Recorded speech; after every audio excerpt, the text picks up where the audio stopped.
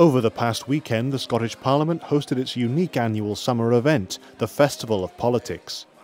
This year, the theme was all about the upcoming referendum, giving the people of Scotland an opportunity to hear expert opinion and debate on the hot political issues surrounding the yes no vote. This year's festival once again featured the vibrant cafe bar in the Parliament's garden lobby, now in its second year running, allowing festival visitors the chance to sit down, drink, eat and chat about the events. The Parliament's presiding officer, Tricia Marwick, also attended the weekend's activities and shared her thoughts on the festival.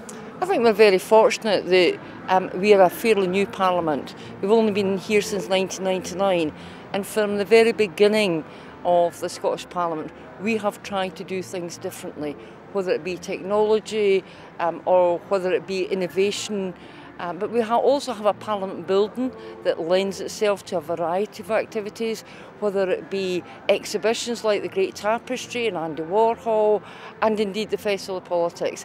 I think it would be difficult to replicate what we do in Scotland um, anywhere else, and I think others have tried, but I think they won't even come close. As this year's Festival of Politics draws to a close, the time approaches for the people to decide what's next for Scotland. Thank you.